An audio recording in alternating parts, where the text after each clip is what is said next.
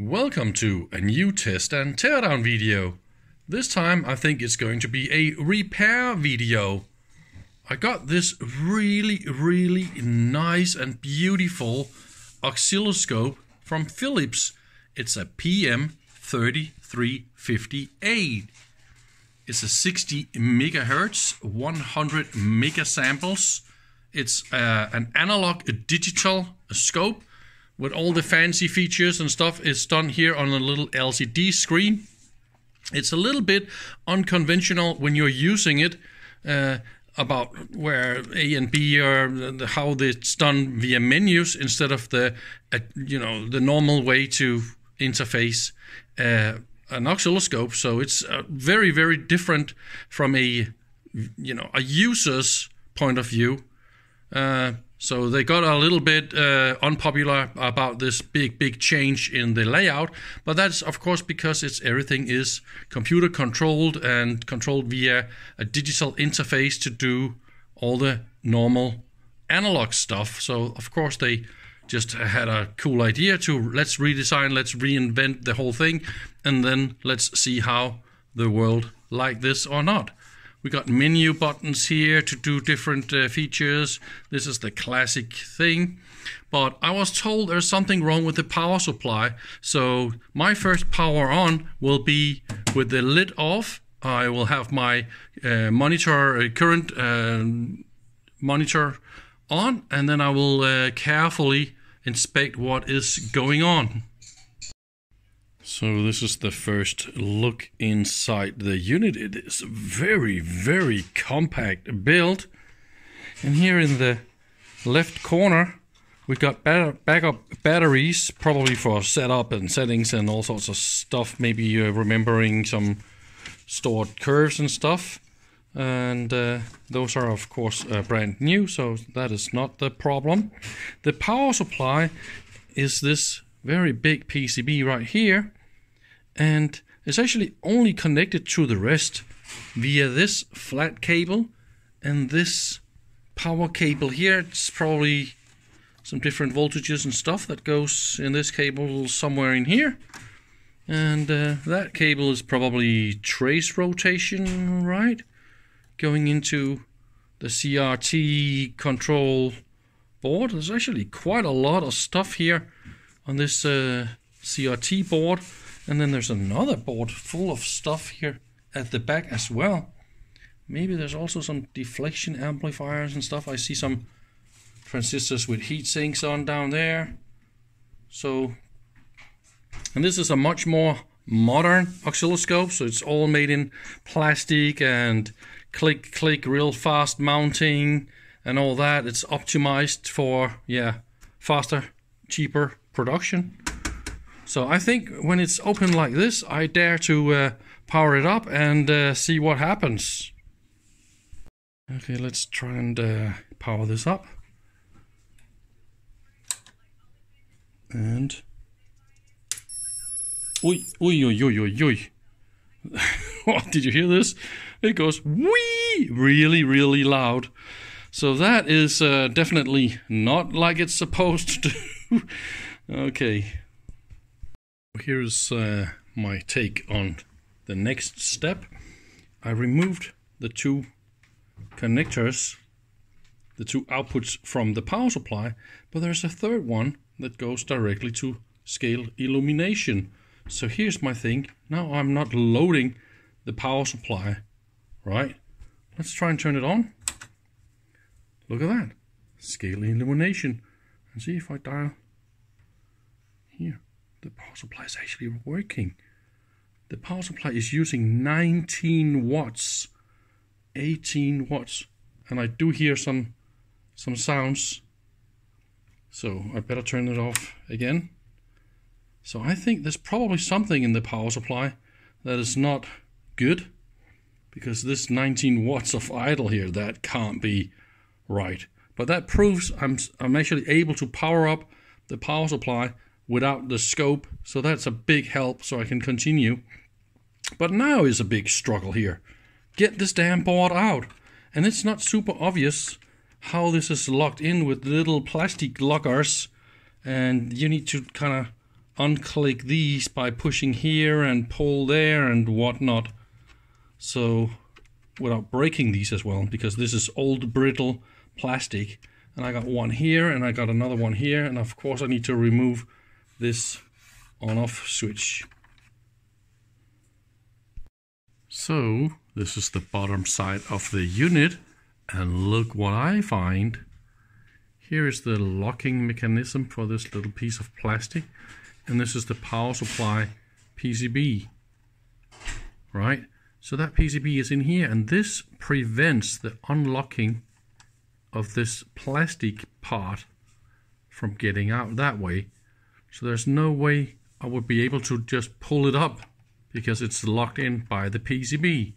So now we need to look so now from we the look top again. From the top again. So what we need to do is unlock the PCB first, pull the PCB a little bit, and then we should be able to unlock this mechanism to get that away. Otherwise we can't get the PCB up, right? Because it's, oh, maybe it's not supposed to. Yeah, maybe we're not supposed to remove this holder here. I don't know how this works. Yeah, it's completely broken. Here is the secret revealed, how this works. Definitely push this piece in. Now the PCB can be lifted. And then you can also take out this piece if you want to. But I don't think you need to really. And it's of course the same trick up here. I was about to blow my last fuse, I must say. Here is another little super dummy here. This handle needs to be like that, lifted out. Otherwise, little, this little plastic thing here goes through the board and locks the board so you cannot pull out the board. So there, here you have it, the struggle. And this piece of plastic here, now I had to cut a little bit of it because no matter how much I pull this out here, it was still in the way of the PCB. I mean, how the heck did they put it in in the first place when there's no space? That is just a the unlocking mechanism from hell. Of course, that was a struggle, but now the PCB is out, and I can inspect the power supply real carefully. Look what I find. This is a classic Rifa input capacitor and it is of course as always cracked. So that one of course I want to replace. Here's the Inrush NTC resistor and that looks like it's badly corroded. So look at that. How can it look like that? this can't be good. So what I want to do is I want to power it up. So those two out here, that will be mains input. And then I'll just try and inspect with my thermal camera what is getting really, really warm here. I'm sorry for all the mess here. I got good news. I've been sitting here and playing around with the power supply and I know now where this funny, funny tone is coming from. And that tone is the overvoltage protection system that is kicking in and then this trigger signal from the overvoltage protection is going down and triggering here and this is shorting the plus 48 and the negative 48 by this uh, thyristor and then the regulation I'm sorry about this I've been soldering a little bit.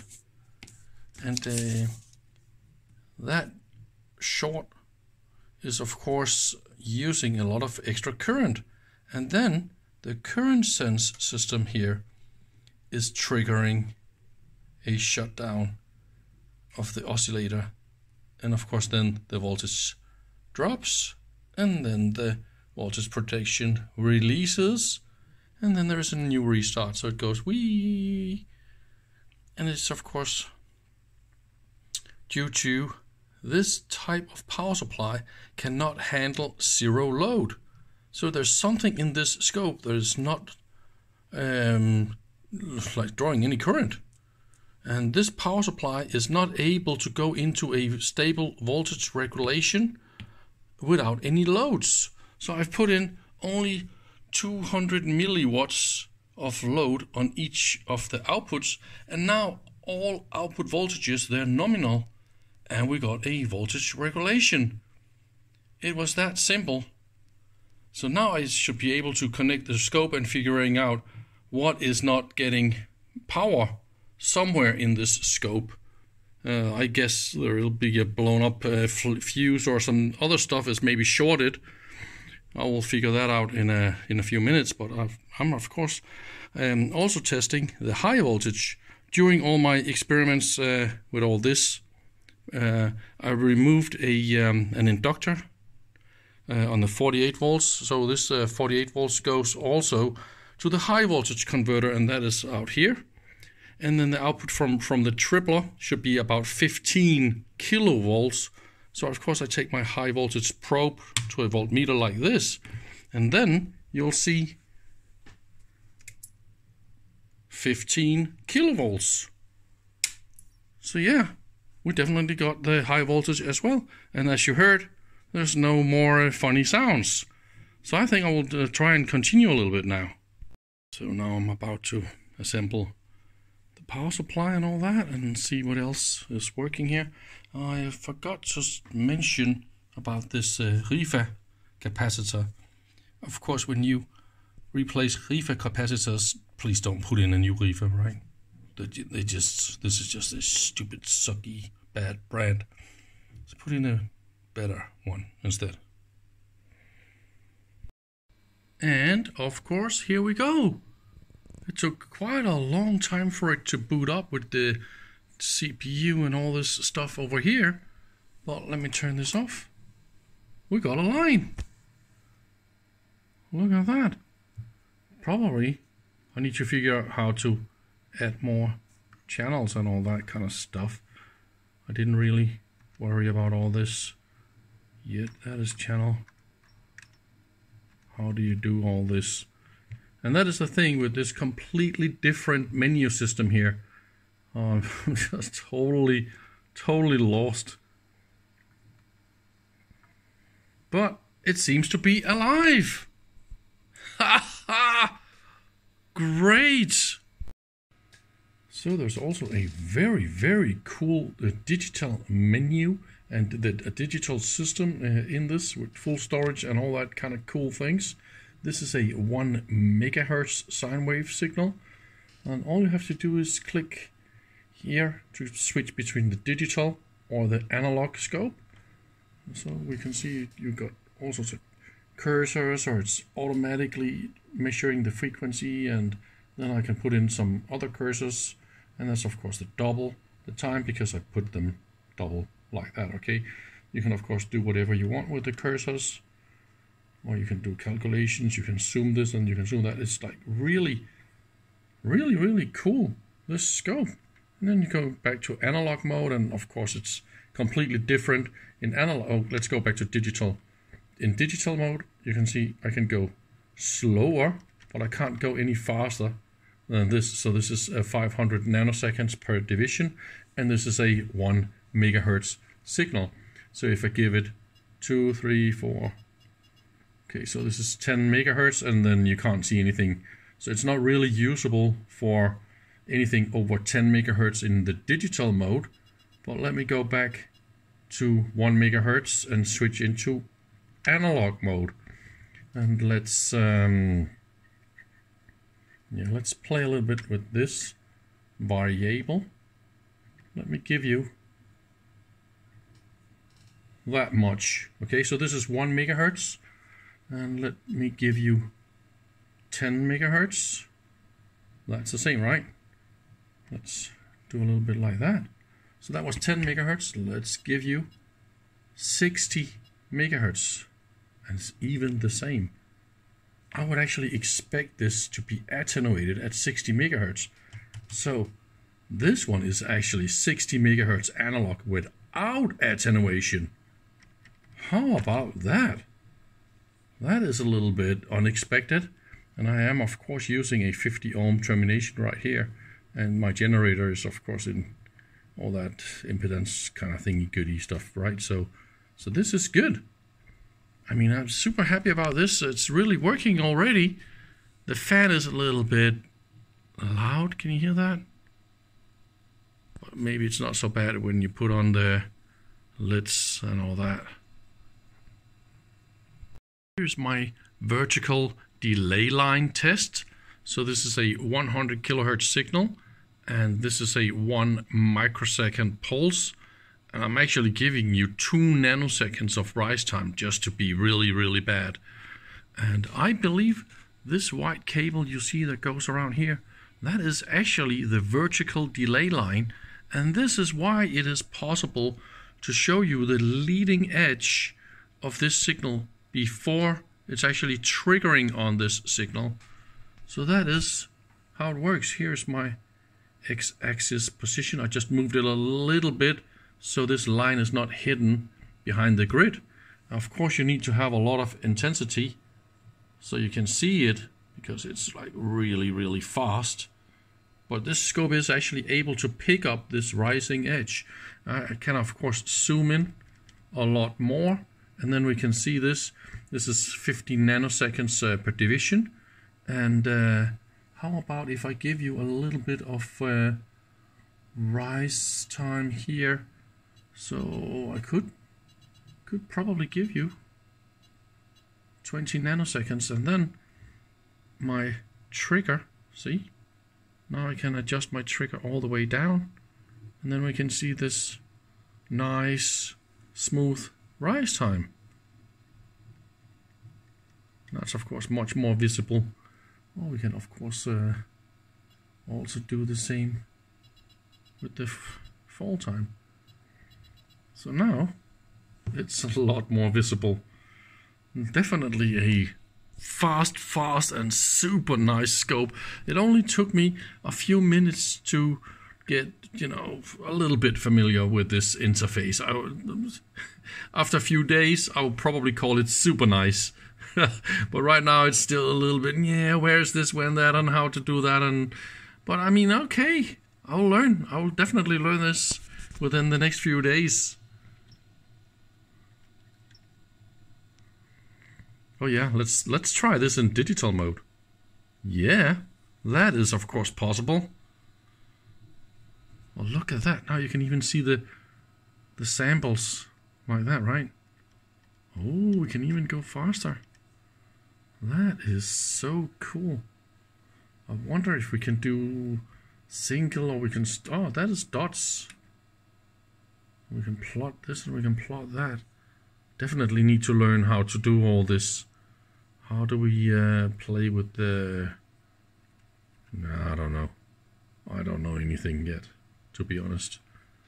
Display load. Oh, there's another. Ooh. Nah, I'm just poking around with stuff I don't know anything about yet, but I'll definitely uh,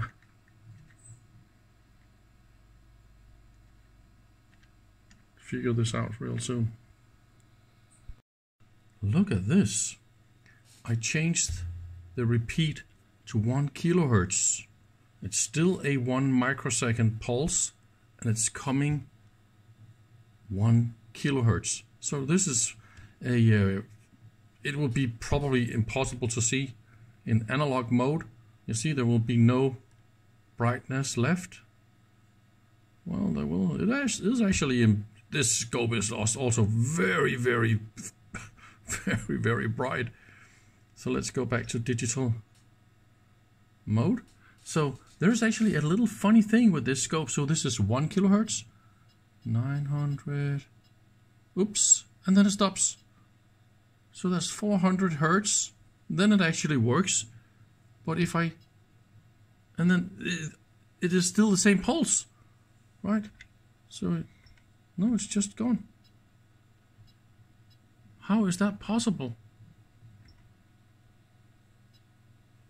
I should be able to. I should be able to give you one of those pulses like every hour if I want to. But I don't understand why this is not happening. Hmm. That is weird. To verify it's uh, not my generator that is uh, stupid. So here's 90 hertz. Or I can do 400 hertz. You know, it's the same pulse. I can even do 1 hertz if I want to. No? I cannot. Then it should go in normal mode. Exactly. It's just the auto trigger that was uh, fooling it around, right? So yeah, or 10 hertz. And then it looks a little bit live again. So there, there you have it. The signal generator is not to blame for the problem. So I can take my signal here, plug it in here. But this scope will not trigger on this, so there is definitely some kind of a frequency trigger thingy uh, about that. Maybe trigger delay or trigger set up something with trigger. Is it? I don't know what it is. This is A. We are in trigger coupling. What have we got here? Pulse DC. Of course it must be DC, right? Let's try again with 400 Hertz. Then we know it was working, right? Yeah. Oh, it's super, super critical with the level now. That is funny. So now it is in DC. I think that is DC. That is definitely some kind of a weird thing going on here. So let's try and poke around with. Yeah, now it works. So that is 10 hertz. And of course, here's our pulse. 1 hertz. And there you have it. Haha, it was of course possible. And you see here now, there's a new update every second and still captures our one microsecond pulse. So yes, of course it works. But there's definitely a weird lead in that I cannot explain and it is like insanely critical with the trigger level. I wouldn't expect it to be like that really. See? If I touch this, touch it like that. And then it's gone. Hmm. Well, well. And then there's this trigger mode single, and then you have your signal stored. Let's see a little bit more of how this scope is built and all the rest of all this stuff is made. We got, I think this is the analog interface, uh, the normal one, right? And then here is a digital interface. We got a big, fast chip like that, and that's probably the AD converters. They are, um, I think they run quite hot, so they are cooled by some copper springs. Look at that. So this is the top here, and this goes spring down here, right? And uh, they even tried to make this black so it's radiating heat better. I think that is why, right? The way that everything here is assembled, it's just press, click, and here you unfold this by pushing here, and then it clicks out, and this is how everything is. There's just one screw here in the top that goes here, and this is just for shield. There's a thin little metal shield here, and that connects to the top chassis. And that is kind of how it is done. I really like the different colors here on on coax cables, so that's good for um, to avoid problems, right? And look at that, different flat cables, different sizes of connectors, so you can't swap this wrong. Also good if you want to uh, hire uneducated people to assemble stuff real fast and real easy and avoid errors. What have we got here? We got also some little shield wires. That one went in here. There is actually quite a lot of electronics in this one. Look at that. So this is the backside of this board. And remember, There's also that one on top. And then there's that one at the bottom. Those are full size that. And then another plug-in board here. And I think we've got like three or four uh, boards stacked in here as well. Holy moly! There's a lot of electronics. And it's really, really nice with the different colors on on the connectors. That is nice. We got orange and green and all that kind of stuff. Beautiful, super, super packed. You're not going to believe this. There's another one down here at the bottom, a very big board as well. And then, look at that. Inside this, I find five more boards. Holy crap, this thing is just so packed with electronics. It's amazing. How the heck is this possible? That is a big surprise to find that much stuff in here. So here's how it goes.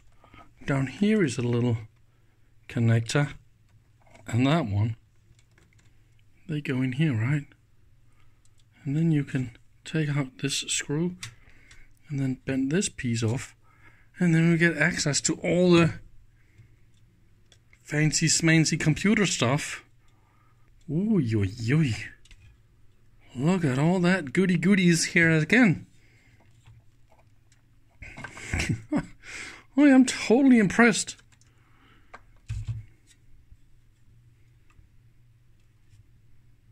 I took out this middle one because that looked most impressive. Here we got the RAM, some 68005 and another nasty one here. I don't know what that is.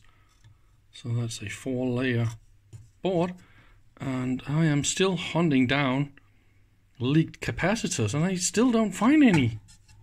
How funny and cool is that? This got to be the CPU card. So it's a 68008. So I think this is the 8-bit version of the 68000, right? And then there is an 8-bit EEPROM. We got RAM. Got some more RAM there.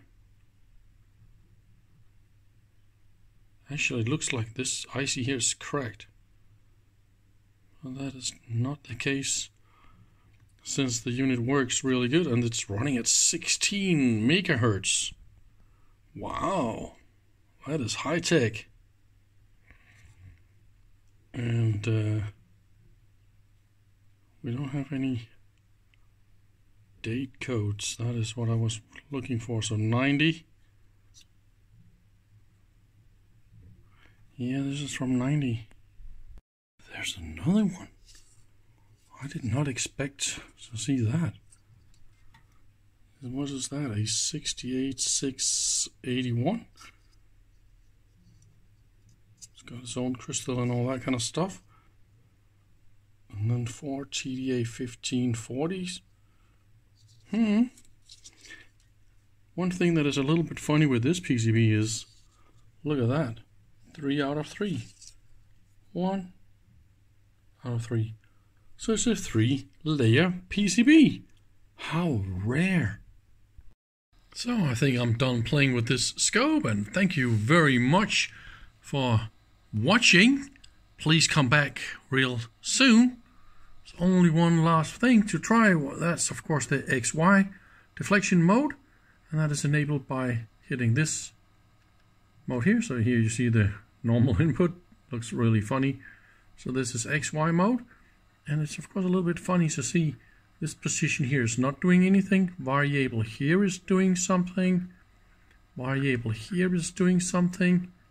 This position is doing something. And X position is doing something. Okay. There's some sort of a funny AC kind of thing here. I don't understand exactly what is going on. It should be in DC mode. Yeah. All right. See ya. Bye.